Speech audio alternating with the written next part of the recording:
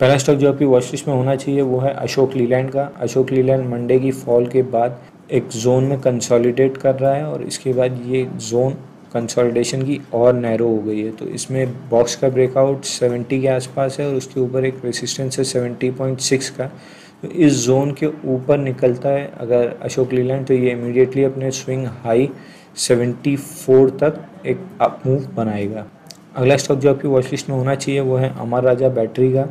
अमर Raja battery में Monday से sell off आना चालू हुआ था और इसमें ट्यूसडे के सेशन में एक फेड लो बना के यहाँ पे हायर लोस बनाए हैं और ये रैली कंटिन्यू हुई है ऑलमोस्ट मंडे के हाई की तरफ़। तो यहाँ से हम ये एक्सपेक्ट कर रहे हैं कि अगर मंडे का हाई निकल के 746 निकालते हैं तो इसमें प्रीवियस सेल ऑफ़ जोन जो थी, उसका टारगेट बनेगा समवेयर अराउंड 760 770 की जोन में। अगला स्टॉक जो आपकी वॉच लिस्ट में होना चाहिए वो है औरो फार्मा का। औरो फार्मा में प्रिटी इंटरेस्टिंग पैटर्न है। इसने मंडे के सेल ऑफ़ के बाद ट्यूसडे को एक हार्ड लो बनाया और उसके बाद इमीडिएटली 832 तक पॉपअप किया और उसके बाद इन लोस को प्रोटेक्ट करते हुए यहाँ पे एक हायर लो बनाया है। तो कल के सेशन में हम ये एक्सपेक्ट कर रहे हैं कि ये रैली जो यहाँ पे कंसोलिडेट हो रही है ये इमीडिएटली 832 टेस्ट करेगी और अगर 832 के ऊपर सस्टेन करना चालू करती है तो 857 से 883 का टारगेट इसका ओपन होगा। माइनर रेसिस्टेंस 876 पे आ सकता है। अगला स्टॉक जो आपकी लिस्ट में होना चाहिए वो है बायोकॉन का। बायोकॉन में मंडे के सेशन में फॉल आई थी और ट्यूसडे के सेशन में ये सीधा गैप अप ओपनिंग दिया और मिड सेशन इसने मंडे के हाइस को क्रॉस करके ब्रेकआउट दिया है और ये ऑलमोस्ट 410 का टारगेट जो बना था, उसको अचीव कर लिया तो यहाँ से हम ये एक्सपेक्ट कर रहे हैं कि कोई भी पुल बैक 405 की रेंज में मिलता है और यहाँ बुलिश रिजेक्शन होता है तो इसे लॉन्ग प्ले कर सकते हैं 418 के लिए ऑन द कॉन्ट्री अगर ये गैप अप खुलता है 418 के अराउंड और एक बेरिश रिजेक्शन देता है तो इसे शॉर्ट प्ले कर सकते हैं 405 के लिए Open instant DMAT and trading account with eKYC. Visit kyc.lakshmishri.com.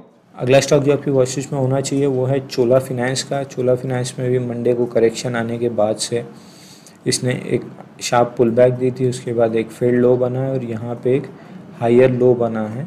उसके बाद इसने ये स्विंग हाई को निकाला है। तो इमीडिएटली यहाँ से कोई भी पुल बैक आता है 239 से 238 की जोन में और बुलिश रिजेक्शन मिलता है तो इसको बाई करना चाहिए फॉर अ टारगेट ऑफ़ 251.90 जो ऑलमोस्ट इसके स्विंग हाइस भी हैं।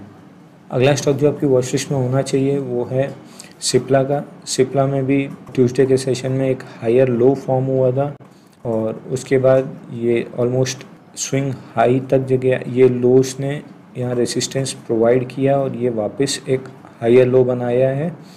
733 के अराउंड तो यहाँ से जो ये रैली चालू हुई है, हमारा एक्सपेक्टेशन ये है, ये इमीडिएटली 755 तक जा सकती है और अगर ये 761 के ऊपर निकलना चालू करती है तो इसमें पिछले स्विंग हाइस का टारगेट बनेगा 790 के अराउंड जो सिप्ला काफ़ी बुलिश लग रहा है और फार्मा भी लग रहा है तो इस हिसाब से नेक्स्ट इस डिविस लैब ये भी काफ़ी बुलिश है तो फार्मा सेक्टर इन ऑल काफ़ी तेज़ लग रहा है हमको।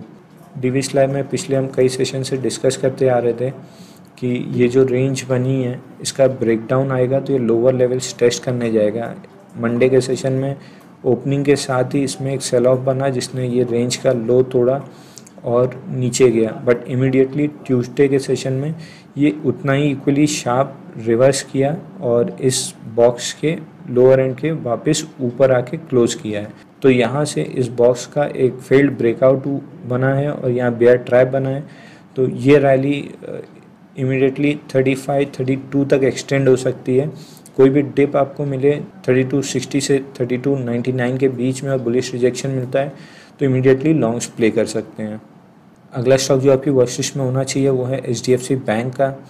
H D F C bank में मंडे को शार्प सेल ऑफ़ के बाद ट्यूसडे में ऑलमोस्ट 80 85 परसेंट रिकवरी करके लोअर हाई बनाया था। उसके बाद इसने इस लो के अगेंस्ट हायर लोज बनाना चालू किया है और यहाँ से हम ये एक्सपेक्ट कर रहे हैं कि 1123 का लेवल अगर वापस डिफेंड होता है बुलिश रिजेक्शन के साथ तो इसमें 1149 तक के टारगेट बनेंगे और उसके ऊपर ये 1190 तक भी जा सकता है। लास्ट एंड फाइनल स्टॉक जो आपकी वॉच लिस्ट में होना चाहिए वो है एल फाइनेंस का। एल फाइनेंस में मंडे की स्टार्टिंग से ट्यूसडे के मिड सेशन तक एक क्लियर कट शार्प फॉल रहा और उसके बाद इसने इक्वली शार्प एक मिड तक पुल बैक दिया है। और इस पुल बैक ने यहाँ पे इस हायर लो के अगेंस्ट फिर एक हायर लो बनाया है। ये ऑलमोस्ट यहाँ पे रेसिस्टेंस जोन में आके क्लोज किया है। तो कल के सेशन में हम ये एक्सपेक्ट कर रहे हैं कि 66 60 के पास कोई भी डिप और बुलिश रिजेक्शन मिलता है तो इसको लॉन्ग प्ले करना चाहिए 70.35 तक के लिए। डेली ऐसे कंटेंट के लिए हमारे वीडियो को लाइक और शेयर करें और हमारे यूट्यूब चैनल को सब्सक्राइब करके बेल आइकन दबाएँ। This is Anshul signing off the day thank you